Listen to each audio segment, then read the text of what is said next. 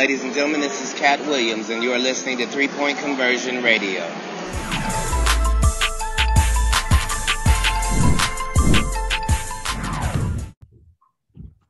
All right, let's get started with questions. Uh, we'll start with Rod Boone and then go to Steve Reed.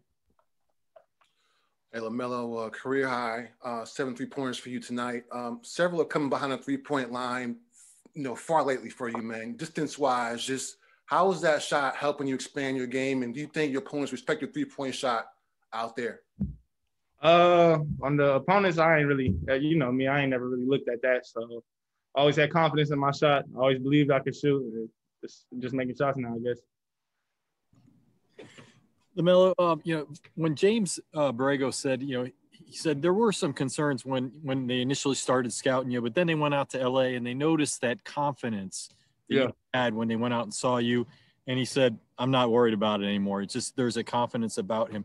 I was just curious, did anyone ever try to change your shot? And did you did you deflect that and say, you know, oh. or, or, did you always stick? Man, Definitely, it's it's a it's a it's a ton of stories for real. I mean, uh-huh. everywhere I went, they usually try to change my shot.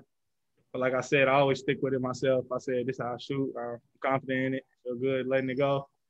I mean, came here, they low key try to adjust it a little, but I was like, ah, this is how I shoot. So pretty much my whole life just stuck with it. Let's go to Nick Carboni.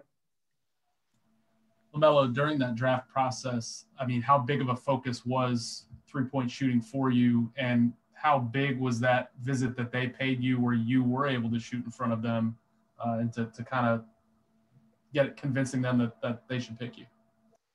Uh, I wasn't really too big on it. I, like I said, I always believed I could shoot. I always felt I could shoot. So I was pretty much just working on my game. And then when they came, it was pretty much like another workout, just working on my game. And then they saw it. I was making shots. So that's how that went. Let's go to Sam and then Richard.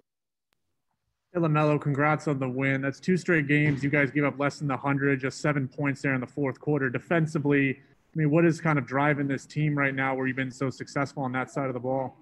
Pretty much, we just all locking in, you know, bringing a lot of energy. Uh, the first three quarters, we didn't really get get how we wanted to be. Uh, the coaches wanted some stops and more stops, but then fourth quarter, we all locked in, and that's what happened. Thank you. Thank you. Oh, I'm done. Richard, go now, Richard. Uh, Richard Walker, CarolinaSportsHub.com. Right. LaMelo, the, the, the alley oops that you threw to, to Miles had a small margin of error, and yet they seem to get through the defense. I mean, is that more chemistry, a gamble on your? Did you were you sure they would work? Because there's one that if you watch the replay, it's almost impossible that it got through two and maybe even three defenders. But like we've said before, you guys have had a chemistry from the start. I mean, did you think there was much risk involved in a couple of those? Uh, I don't really think we think like that. I mean, it's just me and MB. We got a lot of trust in each other. So when usually when I see him rolling, he always tells me you can throw it, and then usually he just does the rest and go gets it. So yeah, it's much love. Let's go to Mike Solarte. Hey LaMelo, uh, what is it about your game over the last week, two weeks that is really starting to feel like home for you? It, it, seems like you're really settling in. Is it being able to start? I mean, where are you finding your comfort right now? Uh, just as time goes on, I'm playing more basketball. I mean, getting into it. I mean, we had a long break with COVID. Now it's a new year.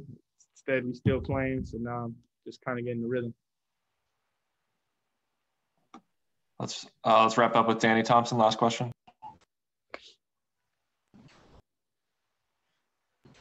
LaMelo Danny Thompson with a three point conversion. Tonight, you, you tied a franchise record for rookies with seven three pointers with PJ and uh, DJ Augustin.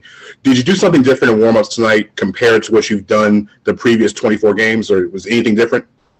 Oh, yeah. Like I was saying outside in the last interview, I mean, they had me waiting at my house because the COVID testing, something went wrong or something. So I really didn't get my shoot around that I usually do. Came late, and I, guess I was just hitting for real. Yeah, I really didn't get my same routine, none of it.